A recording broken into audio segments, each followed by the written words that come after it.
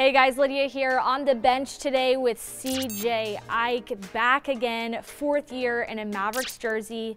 But today we're gonna get to know a little bit more behind that jersey. We're gonna pick your brain. Everybody knows you, everybody loves you, but hopefully today we can make them fall in love with you even more. Sounds good. Fourth season back in a Mavericks jersey. On top of everything that 2020 brought us, how much more special is this season to you? Yeah, I guess you just realize, you know, how lucky we are uh, with Kansas City, the organization starting up and playing. There's so many good players out there, um, so many good organizations that opted out this year. So mm -hmm. makes you really thankful for every day, even you know on the long road trips, and you know you really appreciate everything that goes into it and realize how lucky you are. Um, I want to talk to you about this off season. It was a long one, and I think it was a pretty busy one for you. I see that you have a ring on your finger now. Yep, yep. Tell me about how that went down.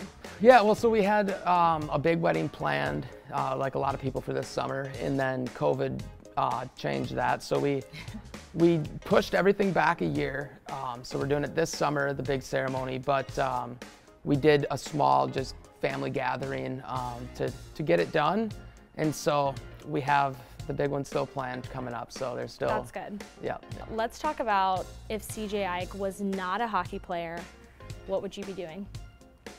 Uh, hopefully, I'd have bigger beard, longer hair, and I'd just be on the road playing guitar.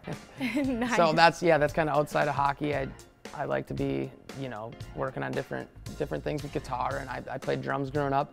Do you sing and play? Uh, just when I'm by myself. no singing in front of people. we're gonna bring the microphone out. Okay, so if you had a band, what would the band name be? Mouse Rat. Mouse no, rat? No, no, it's that's that's from uh, Parks and Rec. Mouse rat forever. Maybe someday we'll saddle up. I don't know what the band name would be. Some some kind of play off the Grateful Dead, I'm assuming. Some, okay. Something with that. Maybe comment below, guys, if you have an idea for his band name. Yeah, there you go. What is your goal this year moving forward? Obviously, we're still kind of in that first part of the season, which is crazy with that late December start, but what are you really focusing on this year?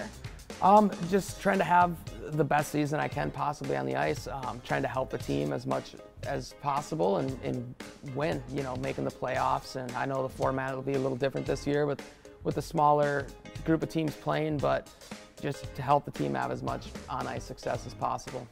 All right, CJ, thank you so much. Best of luck this season. Always love catching up with you. I know our fans always love hearing from you as yeah, well. Thank you. Thanks for having me.